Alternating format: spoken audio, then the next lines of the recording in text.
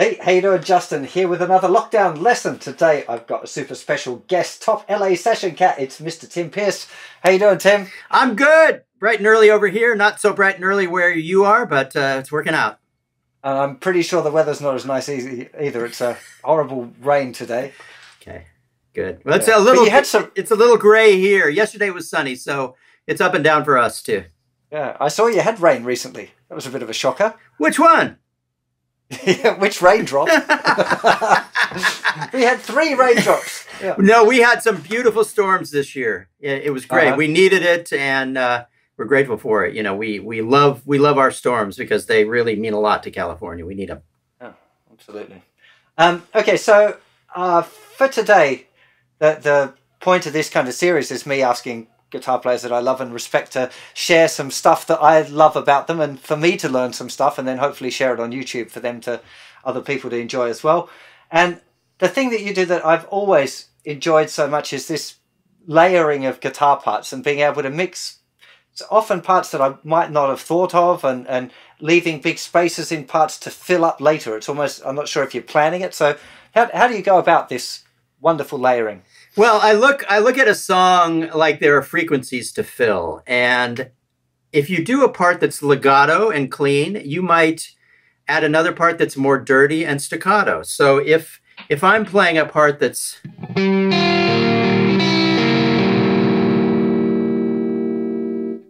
I might throw that down, and then underneath I'd end up going.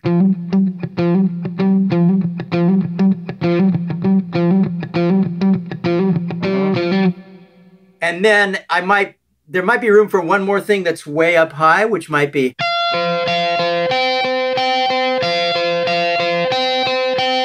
Now I have a track up. Let me try and demonstrate that. But I need okay. to be able to see my Pro Tools, so I'm going to turn this laptop down a little bit. Let's see if I can demonstrate this. Okay.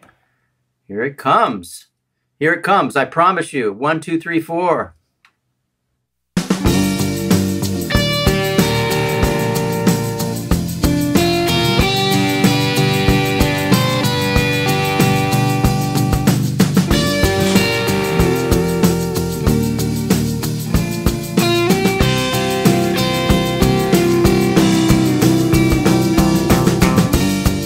Okay, now I'm quickly going to add another part.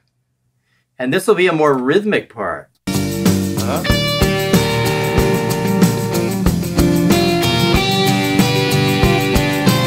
Now I have to turn down the first part. Balance is very important also, as is panning. Generally, I like to have guitar parts panned either all the way to the left or all the way to the right. That's kind of a traditional record making yeah. thing from the way back in the past. But that leaves space right. for the vocal in the front. You know, lot, the vocal can stay in the middle, and the guitar parts are per percolating on each side, and they stay out of the way. You can actually play more guitar if you actually pan everything all the way to the left and all the way to the right.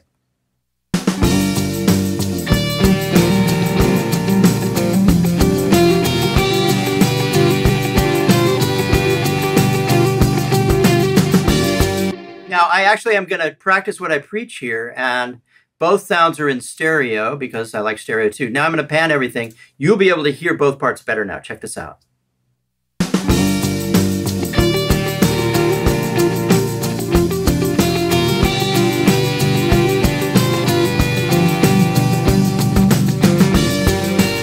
Okay, before we talk again, let me just put that high part in too. Here we go.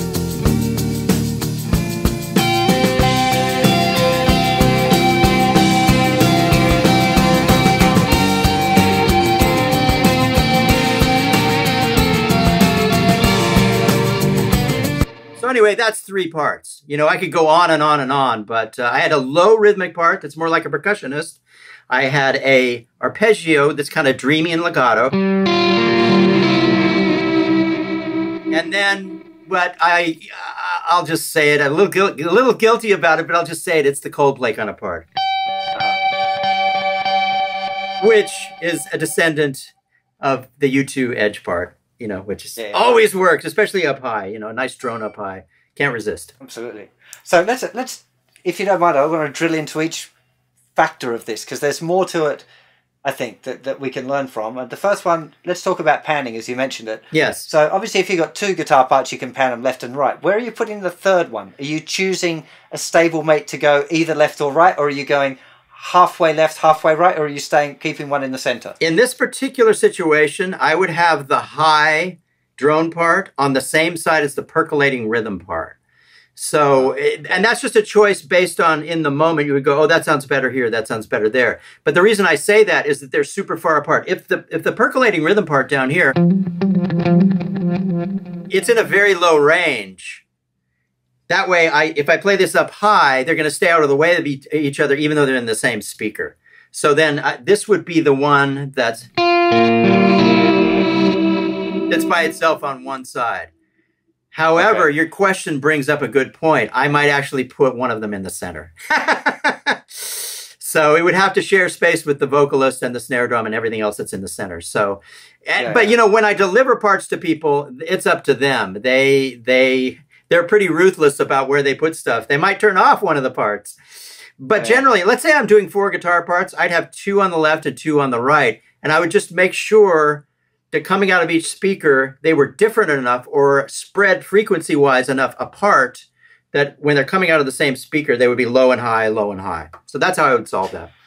You, you never use the half right, half left kind of thing. You're either one side or the other or the middle. Yeah, I have to say, I never, when somebody goes like here, you know, at three o'clock or six o'clock, I, I just, it's just an old school thing. I just love, mm-hmm. you, you put on headphones, you hear a guitar player over here, you get hear a guitar player over here, another guitar, another guitar. I like for the guitars to be side to side. Now, if if there's a really really featured part, it can come out front and center and take over the whole thing. You know, it can be stereo even. But I mm-hmm. like hard left and right panning. It's totally old school. I think even the old mixers only had center or left and right. Some a lot of the old panning pots from way back. Lost the so, if it's all right, Tim, I'd like to go into a little bit more detail about some of those points. Uh, and let's start with panning because you mentioned that already. Uh, you said that you tend to go hard left or right or center. You never use those like 60 30 half panning things. And what are the rules as to what goes where? I guess for me, the excitement of putting on a pair of headphones and hearing one guitar player on the left and one on the right. Or Hendrix on the left, or Hen- and Hendrix on the right, or John Mayer on the left and John Mayer number two on the right it just sounds the best to me to hear the, the guitars, you know, isolated in each ear. Now, that being said, if you listen to like a U2 record or something, you're going to hear panning all across the spectrum. If a part is featured and has effects, it's great to put that in the center too. But generally, yes, I love hard left and right, especially when you put on headphones. And you can actually do more guitar parts if you do hard left and right because they stay out of the way of the vocal. Mm-hmm. Absolutely. You definitely don't want to interfere with the voice, right? Always, because I spent my whole life playing on songs and it's always uh, you're always orchestrating around a lead vocal and a lyric and a melody absolutely mm-hmm. so uh, what what determines what ones might go together if, if you've got more, let's say you've got three parts or four parts after you've gone one left and one right where is number three going in the middle or, or to the left or to the right or how are you well choosing where he's simplest go? answer is that if it's a low rhythm part like i demonstrated then the high drone part might be able to be its neighbor in one speaker because they're frequency wise so far apart. So that's the simple answer. The low rhythm that's staccato would work with the high drone that's legato coming out of one side because they're so far apart frequency wise and even style wise. That's that's the hmm. simplest answer. But you would have to experiment and see what you like.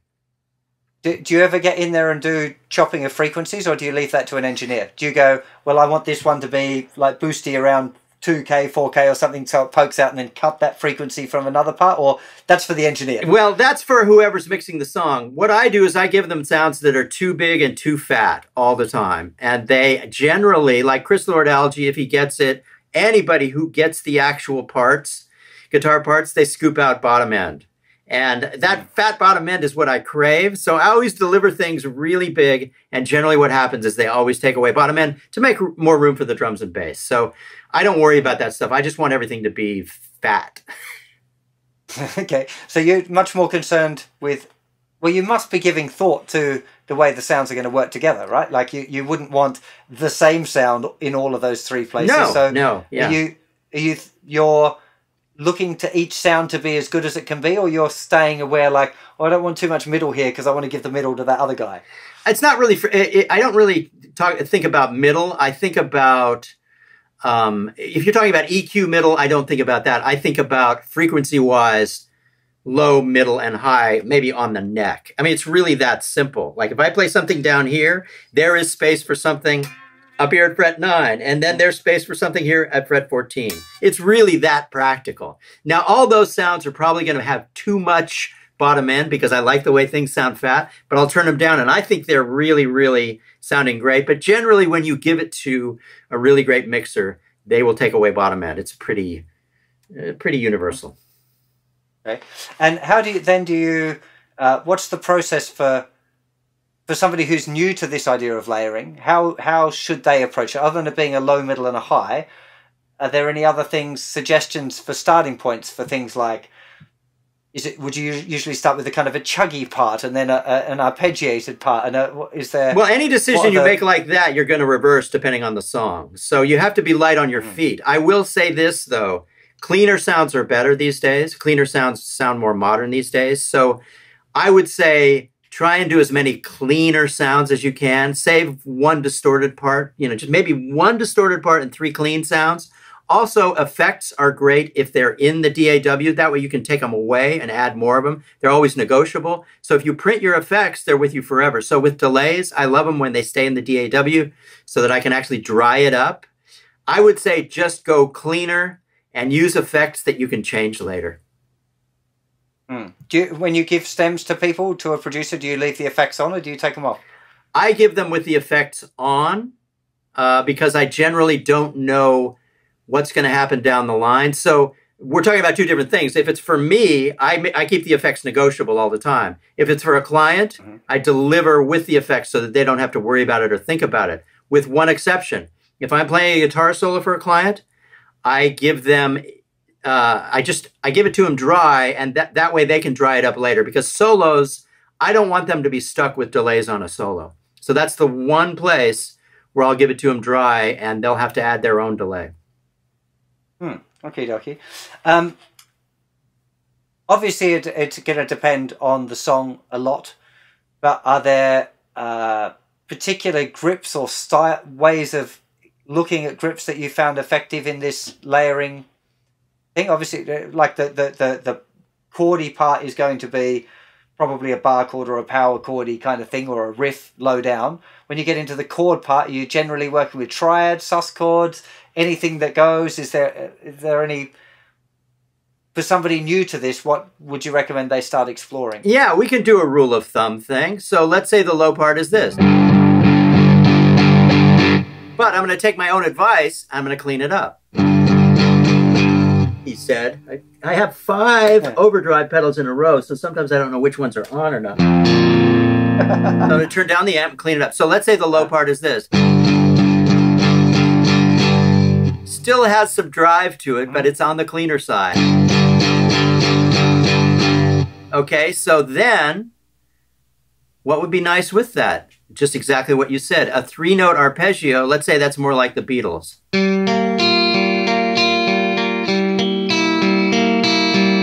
Those two parts will stay out of the way of each other. Maybe I'll even mute this part and it'll stay out of the way more even. And in fact, a part like that might even disappear. Maybe that part is a double of the bass part. Which leaves even more space. Okay, so then my, my arpeggio, exactly what you said, Maybe it's just two notes. Then I've left room for this.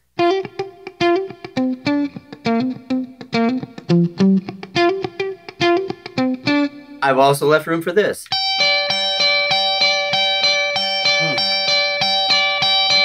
So that's just a quick and dirty. I never say quick and dirty, but it's it applies to this. That's just a very quick way to kind of describe how you can do four guitar parts at the same time and they'll all stay out of the way of each other. They'll all interlock. It's basically orchestration at that point. Okay, so we've got to separate our parts. We've got uh, panning, so left and right, and within different frequency spectrum. So we've got like low, middle, and high, maybe some in between as well. the other part to that was the rhythmic element. So we've got these like e- even rhythms. We've got uh, uh, like a, a where there's a specific groove. We've got these textural kind of slow arpeggio pieces that are not really rhythmic but creating an atmosphere. We've got highly rhythmic, funky sort of lines like that third one that you gave us there.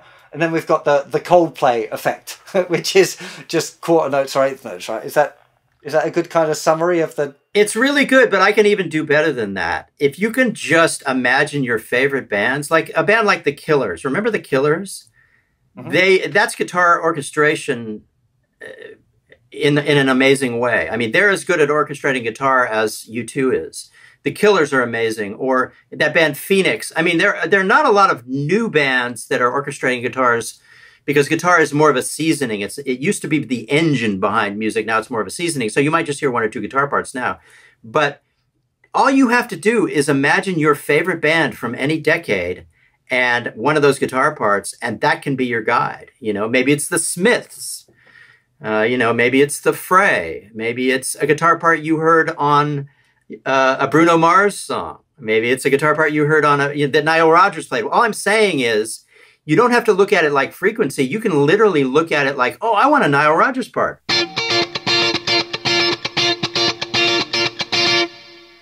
You know, and then maybe along with that, there should be a, you know, surf part. And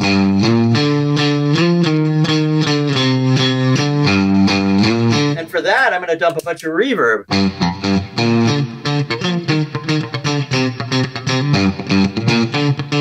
So all you have to do is imagine your favorite genres of music of all time, or your favorite artists, or your favorite records, and you can choose parts based on that. And generally, these days, uh, you might you might have two really strong parts. You might have Nile Rodgers up here, and then Mr. Surf down here.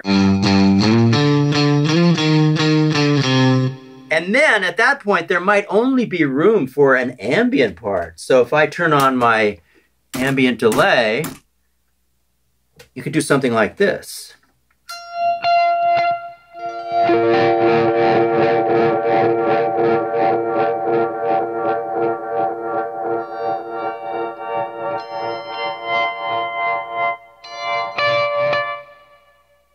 It might only be three parts. I think the modern approach is three parts rather than eight parts. You know, uh, it used to be.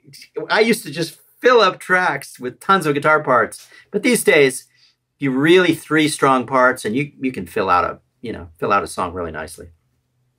Do, do you include acoustic guitar parts, that kind of acoustic guitar where you get the like a in the chorus where it's kind of a percussion, it's like a hi hat almost. Absolutely. The harmonies almost yeah. Yeah, and that which we haven't talked about yet. That the great thing about acoustics is they sound amazing doubled, and we're back to this incredible left and right experience. So if I take an acoustic guitar and I double it, I play just brush strokes. It's just like this.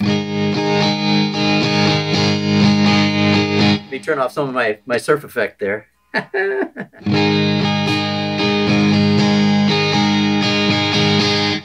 Do that on acoustic double it exactly, pan them left and right, and they'll stay out of the way of those three electric parts I just demonstrated. Now, here's my best trick with acoustic. I still rush after so many decades of de- decades of playing. I always rush on acoustic at first. So I'll play a guitar, uh, an acoustic part on the left. I'll play one on the right, and I'll realize that the one I just played on the right is more laid back. And then I go to re-record the left one. That's even more laid back. Sometimes I'll bounce back and forth three or four times, and my pocket gets better and better. So what, what I'm saying is I'll play the first one, and then I'll play the second one. I'll go, oh, that guy on the left is rushing.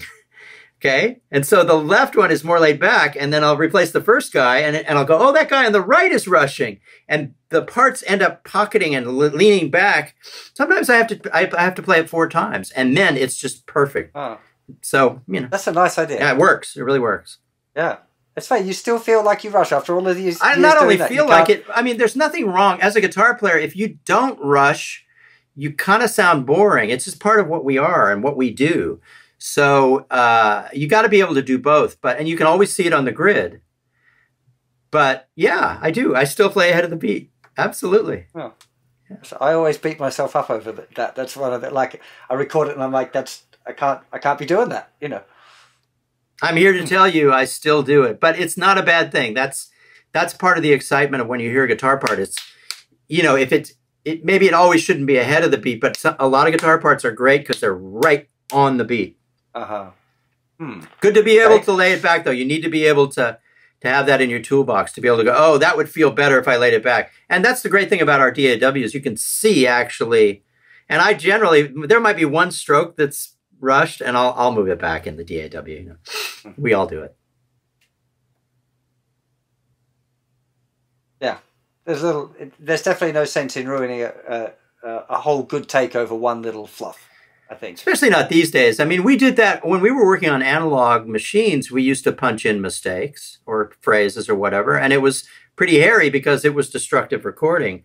These days, there's no reason not to fix the ending of a solo. You know, you play a solo, mm-hmm. the last bar is not what you want. Fix the last bar. Mm-hmm. Absolutely. Yeah. yeah. I mean, we're doing plenty of live music. You know, it's it, it's okay to to fix mistakes. I mean, the, that's the thing about guitar is that you want to reach. You really want to push it so that you do make mistakes, so that you get all the all the enthusiasm, and the excitement. Guitar, you know, you want to you want to push the envelope. You don't want to sound safe. You know. Yeah. So I've I've always used that as a good excuse for playing lots of bad notes, but It's okay. But- It's harder for a drummer because yeah. the drummer they need to lay it down and get it done, you know. But Mhm. for us, we can actually afford to be kind of out of control. In fact, people want us to be out of control. They really do. Yeah. It's it's what I love most about Jeff Beck is that he always feels like he's about to fall off. Like, is he going to make it? Is he going to make it? And he nearly always does. But I have heard a couple of occasions where he's really stretched out and it's just kind of fizzled a bit and just gone. You can see he's gone. Oh, well, that didn't work. But then he's just straight back on it with another even better idea to Yeah. fizz out of it. Yeah. It's fine. That's that's what people people Um, love that. Okay, another question for you that uh, I'm sure a lot of people wonder about the uh, the U2 Coldplay thing. How do we choose the two notes that are going to go throughout that section? Because it nearly always is two notes that you just bounce between and they fit for the whole thing. Um, What's it what's the trick? it depends, but if as a general rule, it's the one and the five. So the tonic. So let me pick a pick. Let me pick the key of E. So I'll, I'll go here, key of E.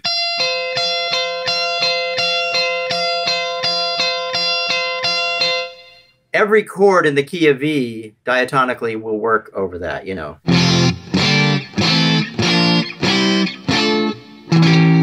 Even the diminished chord.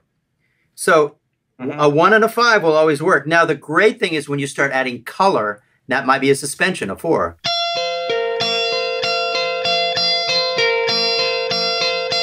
And then you might resolve that to the three.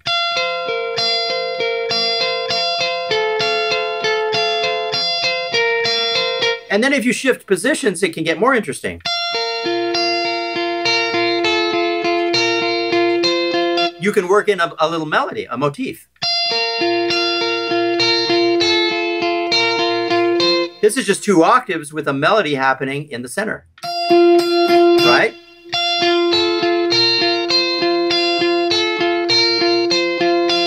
And then when it goes to the five chord, you might have to make a change. You might have to go.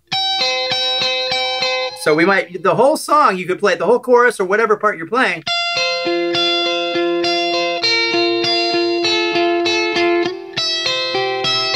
You might have to change in one spot, or you might have to change if it goes to a D chord.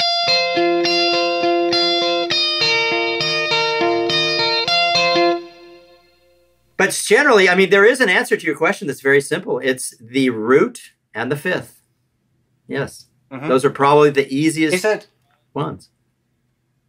That I uh, I tried to answer that question a little while ago. The root and the fifth do, does work through the whole thing. The ones that I tended to like have these weird dissonances Yes, in them as well. so you yes, quite often get ones that are that are like a, Yeah. a, a, a tone apart. So you might have like an E and a D or something like that, where Totally, you get this little clash. Yeah. And I was trying to figure out an answer as to what was the right one, but the only answer I could come up with was muck around until I found one that sounded Now good. you because froze. That tends to be oh Yeah, you, you were trying to back? figure out. It's just start again with. I was trying to figure out an answer to what was the right one. Yeah, yeah. Uh, so I was trying to work out if there was a some sort of theory reason why some of the notes had worked. But the the best I came up with in the end was exploring it and mucking around until I stumbled upon ones that sounded good.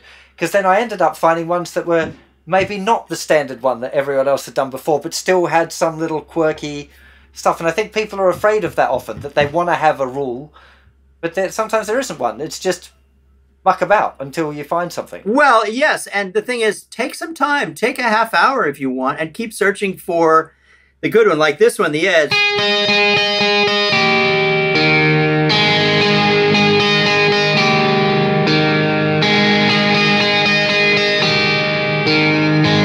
I mean, that's what you're talking about. That's the major seven. That's the total dissonant interval. It's, it seems like the, the modern approach. It's, it's kind of like U2 went into Coldplay, but it moved into this other. Yeah. Some of the young guys seem to be a bit less uh, ref, uh, confined and just gone. Well, I'm just going to pick these notes, and you go, "Whoa, hang on, that's a bit pokey." But then they move it and resolve things, and Yeah, guitar is always best when it's not predictable, when it's, you know, spontaneous. You know, that's our world. Our world is surprise, basically. It's good to be surprising Hmm. as a guitar player if you can. Take risks. Oh. So what other what what other tips have you got for people getting into their layering then when they if somebody's just starting out for it? We've I think we've got, got a really solid foundation with the with the uh, the panning and the frequencies and the different rhythmic types. We've explored grooves and doubling the bass thing and this the the Coldplay trick. What other things are there that you recommend people get into? Uh, okay, so there was a sound on the Line 6 pod called Matchless DC30, and we used to use the pod for all our direct sounds. And the point I'm trying to make with this, there was an XTC record where they used that preset on the entire record. Find in your, whatever you're using to create your sound, and for a lot of people, it's a modeler. Find a Vox style of sound, because that's going to be basically the template for all good guitar sounds. Marshalls are pretty distorted like Fenders are pretty clean, but if you get a Vox style sound where there's a little bit of gain and it's fat and it kind of compresses itself, all your sounds can come from that one preset. So don't waste a lot of time searching for a JCM 800. Just use the Vox and maybe put a pedal in front of it or distort it a little bit. So that's the world I live in. Half distorted sounds, sounds that read as clean, but because the amp is cranked up or the modeler amp, whatever you're using, it's cranked up and it sounds like a Vox where the notes begin to compress themselves naturally because of the gain. Just stay there and use that for all your sounds. So don't search constantly. Don't scroll through amp tones. Find one that works best for you and use that. Now, the next thing I would say hmm. is this, and I'm, I'm doing a video on this right now. Don't pick too hard. Turn your eh, turn your guitar up in the mix to where it's kind of shockingly loud play lightly and you'll get a fatter tone. That's the paradox. If you hit the guitar really hard and you're not loud enough in the track, it's going to sound really thin and you're going to hit the top end of what the guitar is putting out. Turn yourself up in the mix, play very lightly, and you'll find the notes get really huge. Now, the danger in that, if you don't hear the drums well enough, you're likely to rush. You need to find the spot where you're up loud enough to where you can play lightly, pick lightly.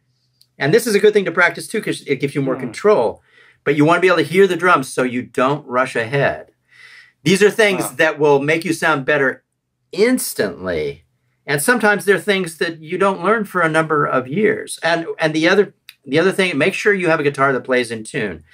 If you have a Gibson, like you and I are both playing guitars right now, you have a straight string pull, you have a six inline uh, headstock there. That guitar stays in tune. This guitar stays in tune because it's got a Floyd Rose on it. If you have a Gibson or an Epiphone, and it's got that traditional headstock where they go like this you're it's hard to keep the g string in tune. You'll be frustrated all the time and as you overdub and as you layer you're going to have the out of tuneness kind of compound itself. So whatever you guitar whatever guitar you have in your studio that plays most in tune don't be afraid to use that for everything when you're recording. Hmm, that's an interesting one. I, I so actually this that that was going to be should have been something we talked about with the layers. You don't tend to swap guitars for the different layers to get. Uh, I just had a, an interesting chat with this guy Chris from the Cold Stares, uh, they're kind of a riffy thing. And he talks about when he records his different riff parts, he thinks of them as different people. So he'll go in and do, well, here's my riff one. I'm going to use this guitar and I'm going to pretend to be, you know, uh, quiet, lonely riff man who's a bit shy and sits at the back, like Malcolm Young or whatever, you know. And then, but then he, when he's doing another part, he'll use a different guitar with a different sound and pretend to be another guy, just to be able to kind of get these a little bit of that band magic, but when you're own still. That is really the the right advice, but for me, I had to deliver my parts in seconds to clients. My mm. job was getting stuff done stuff that might take somebody 10 hours, I had to do in 10 minutes. And I'm not exaggerating. So uh, often it was oh. better for me to have the same guitar in my hands and just tweak it and change change the little stuff on the fly. Because for me, in the, in the job I've done for 40 years as a studio musician, anything that breaks up the momentum, people start to lose interest. It's so you have to balance the idea of your friend is absolutely right, and I agree with him. If you pick up an old Gretsch and you tune it up, do whatever it takes to get it going, play the part on that, walk away, put it down, grab your strat, play the Nile Rodgers part on that, that is the best world. But the world I always lived in was one of high momentum and high pressure. So I, I had to get it done. I, I nobody gave me any time to get a sound. I had to get my parts done absolutely instantly, and Wow. It's it's so th- th- you have to look at both things. If if you're doing stuff that's breaking your momentum, if it takes you two hours to do your guitar parts, you're going to be in a different mood two hours down the road. If you can get those guitar parts down very quickly, sometimes it's better. So you have to weigh. I mean, the thing I would say is if you put three guitar parts down with one guitar, go back and replace replace one of them with the Gretsch. You know, hmm. I just I know I know how important momentum is, and if you keep the guitar in your hands, the same guitar, you can keep the maximum momentum. That being said, your friend is absolutely right. Different guitars have different sonic frequencies. It will be more interesting. And the big records that we love, they were done that way where they they changed the amps and the guitars on every part. You know, you just you worked really hard on that stuff. But a lot of those records were done over days and days. So I think you get what oh, I'm saying. Months. I was I was yeah, yeah, my yeah. job was to give people stuff immediately. And sometimes that meant just keeping the same guitar and changing tones within that realm. Now, I'm going to ask just as a fanboy here, was the the Crowded House sessions that kind of thing? Were they were they uh, uh, uh, here's some stuff you got to play on it right now or was that a more relaxed affair? It was not relaxed at all. It, it, my job even back then was we want it now that's why you've been hired. If you don't give it to us now we're going to doubt you we're going to doubt the situation. I can't stress enough you know professional recording situations you do it now or you, you live or die by doing it now. See that's what i'm saying. If you're by yourself or you're with your bandmates and you can take a day and, and, and horse around and experiment that's great but I started my job even back then. I was hired to come in, and it had to be right the minute I sat down and played it. Wow. That was That's the first take. That thing you're talking think... about, that was the first take. So, or you know, it was one of the first takes. So now the band had rehearsed all that stuff, so they they were on the other side of that equation. but me, as the ringer who was brought into that, you know, they they don't want to. You know, I there could be no doubt. Wow. I, I couldn't handle that kind of pressure. I, I couldn't either, I, and I'm uh, glad I don't do it as much these days. But I, I pretended to be able to handle it. You know, it's it is high yeah. pressure. It really is. But I've seen I've seen you. I've had the privilege of watching you work on a session for Rick, and you did do things very quickly. It's, you went, "Here's this track. What do you think? Do you like that? Okay, let's do this other one. Bang. Okay, well, I think we need a little bit up here." And you were I was like, whoa, there, were, there weren't, I don't think you did a second take of anything. No, that's because Rick, if it doesn't work the first time, he loses interest and, and it's like, okay, we're out of here. Thanks. Or that part doesn't work. You got anything else? I mean, he's one of those guys that if, it, if he doesn't hear it happen immediately, he moves on and moving on might be him driving away. wow. Well, yeah. Guys, I really hope you enjoyed this session with Tim. My daughter's just started knocking on the studio door, so I have to wrap up a bit here. Uh, Tim, it's been amazing. We could have kept going like this for hours. I really appreciate your time. Uh, make sure you go and check out Tim's website. He's got some awesome lessons there that I know you're going to love. So uh, we'll see you for more very soon. Thanks again, Tim. I can't wait. Let's do it again soon, please. Let's. I felt like we were just getting started. Awesome, man. See ya. Wicked.